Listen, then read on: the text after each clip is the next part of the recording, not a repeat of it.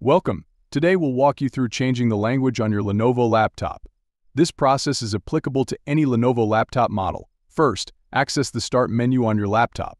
From there, navigate to the Settings option. You can either find it directly in the Start menu or type Settings in the search bar. Once in the Settings menu, go to Time and Language on the side panel, you'll see the Language option. Click on it. Here you'll find the option to add a language.